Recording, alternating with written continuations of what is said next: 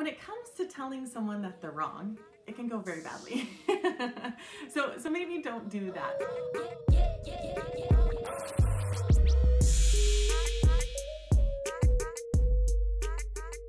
I started a new office about four months ago. Here, the optical manager enters all of the orders for the office into the system. I just found out that she has been changing my progressive seg heights to be the same in both eyes. How do I tell her she's wrong? Um, telling someone they're wrong, that's always fun. well, let's start by addressing the misconception that fitting heights or seg heights need to be the same, which so many opticians really believe. Here, will you, will you hold that, please? Here's the thing back in the days when bifocals were the hot thing, right? It was often taught that we match the seg heights. The thought was that aesthetically it was more appealing to have the lines even on the lens. And since the bifocal is holding the full add power, as long as the patient had an adequate amount of room underneath the segment, that they would get full functionality out of the lens, right? Perfect.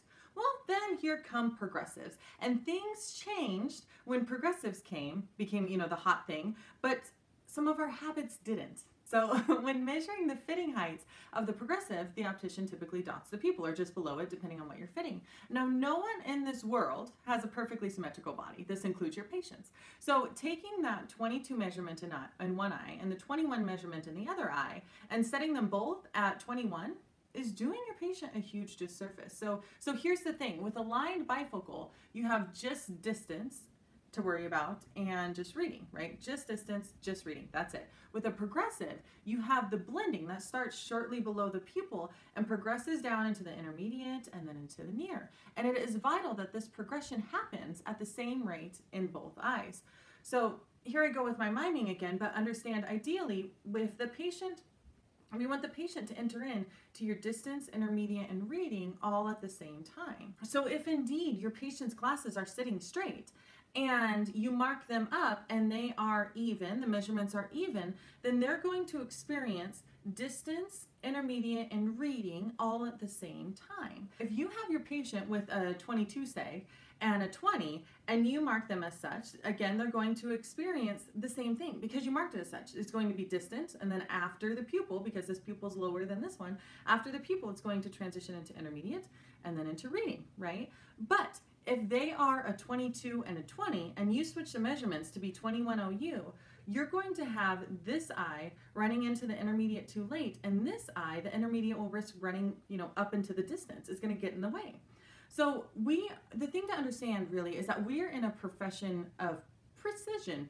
We base our measurements in, in half millimeter increments, and every millimeter matters when dealing with the eye. So this minor rotation of the eye into the intermediate zones and into the progressive itself is a huge significance and must be accounted for in the measurements. So being in a trade where we're often taught by our predecessors, which is great to learn the mastery of those before us, but unfortunately we will also mimic their bad habits without question. so licensed or unlicensed, there's silly inconsistencies that we have optic- that we have adopted as opticians across the board. Plus there are many opticians out there who are downright brilliant at their craft, but they're terrible teachers. Some of them are downright jerks, which is not at all helpful to the opticians that are legitimately looking for guidance. And ultimately, in this situation, your manager was likely taught a certain way of doing things and doesn't know otherwise. So the proper way of measuring a progressive would be to always pre-adjust your frame, make sure that there's no point in marking up lenses on a crooked frame, right? So pre-adjust your frame, make sure that your frame is sitting as it should, and mark up your patients. If your fitting heights measure even, then great.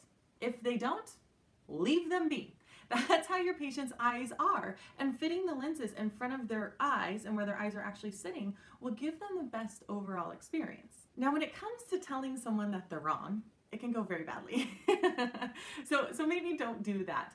Um, how you're going to go about addressing your manager is totally up to you. I think that whatever you do needs to be done with a sensitivity and, and a huge amount of respect.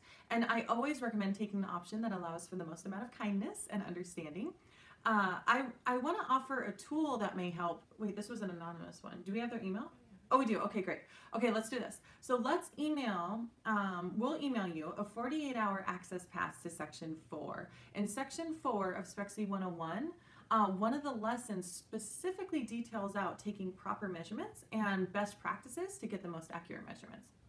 So maybe you could use this as a tool to tell your manager that you got a free preview of this Spexy 101 course and, and show your manager what you learned. Um, who knows, she might want to get Spexy 101 access for the whole office. It's a win for everyone.